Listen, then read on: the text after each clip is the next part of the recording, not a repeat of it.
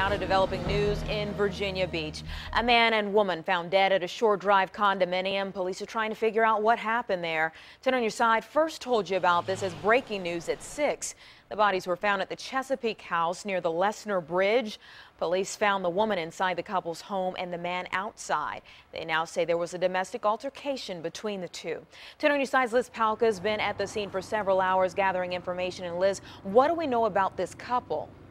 Well, Anita, we know from police that this was a husband and wife. Police were originally called out here to Chesapeake House for a report of shots fired from inside the building. When they got here, they found the wife dead on the inside of the condo, the husband dead on the outside, and now they've been spending a lot of time both in and out of the building. And if you're looking up at this balcony right here on the sixth floor, you can see investigators are still out there. They've had flashlights gathering any evidence they can.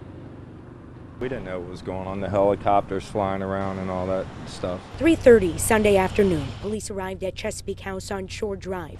Nearby restaurant owners could see the chaos unfold. Uh, they got out with guns. They started running in, and then after that, it was you know EMS and everybody. It was just cop car after cop car. Initial reports from police dispatchers say this was a murder suicide.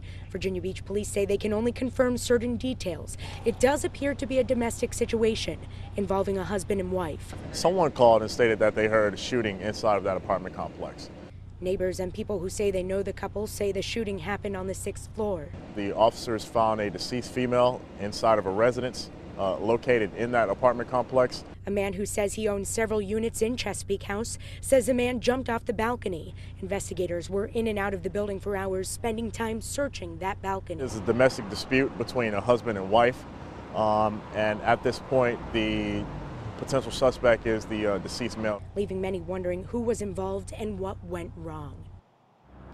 We still have a lot of questions for police about the timeline of events. Uh, what exactly happened here and what police did find as soon as they got on scene. Also, these two people, the husband and wife, have not been identified yet, but we will update you as soon as we get more information.